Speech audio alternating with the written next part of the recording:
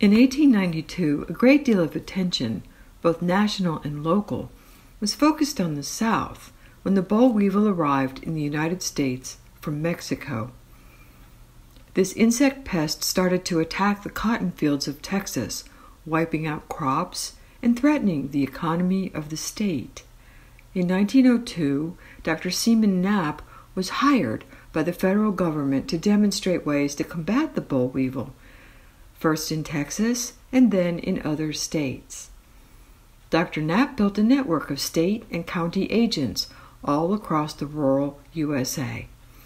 The men and women of the farm demonstration work programs found that farmers and their families were eager to improve their farms and their lives by making the most of what they had and by applying science to the soil.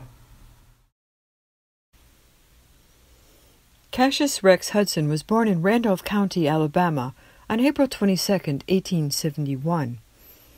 He graduated from Alabama Polytechnic Institute and taught at an agricultural school before moving to North Carolina in 1907 to become the first state agent for farm demonstration. Mr. Hudson was funded to designate demonstration farms in the counties of North Carolina. These privately owned farms were to be operated under federal guidelines for the benefit of surrounding farmers. Mr. Hudson worked closely with I.O. Schaub, head of the 4 H clubs of North Carolina, and with Jane McKimmon, North Carolina's first state home demonstration agent for women and girls.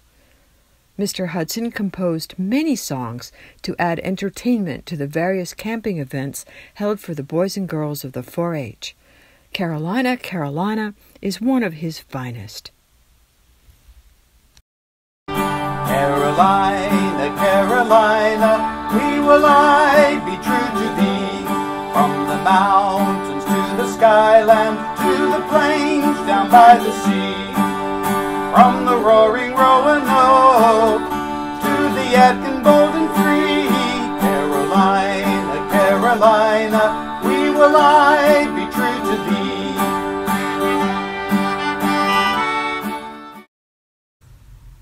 Josephine Scott was born on October 23, 1883, on a farm in Alamance County, North Carolina. She was the first of 14 children of Robert Walter Scott, an industrious farmer, and his equally industrious wife, Elizabeth Hughes Scott. Josephine was a student at the State Normal and Industrial School in 1904 when her dormitory building caught fire on a cold night in January. Josephine ran outside in her bare feet and proceeded to ring a bell located behind the building until all of the students had fled to safety. Josephine's younger sister Margaret also attended the State Normal College in Greensboro and became the first home demonstration agent in Alamance County. She was an expert in canning, and it was under her leadership that the first moving picture of home demonstration work in the entire country was made.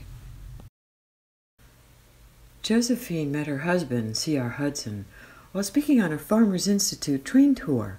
The train tours were an early teaching device used by the Extension Service to reach farmers living in remote areas. C.R.'s job required a great deal of travel, so during their courtship they kept in touch by letter. Sunday evening, August 21st, 1910. My dearie dear, it seems so long since I saw you that I was tempted to board the train this morning and run up to spend the day with you.